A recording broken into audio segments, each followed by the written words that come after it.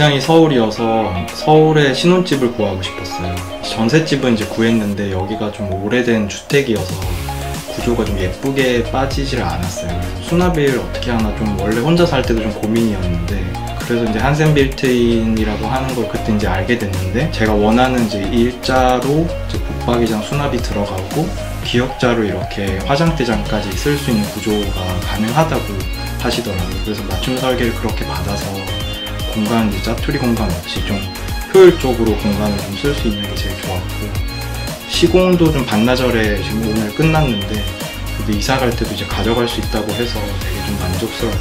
이사를 다 좀 한 상태인데 오늘 이제 정리를 좀 다 할 생각을 하니까 잘좀 후련하고 잘 선택한 것 같습니다. 똑똑한 엄마가 되게 해줬어요. 우리 부부에게 힘을 줬어요. 딱 맞는 공간을 선물해 줬어요.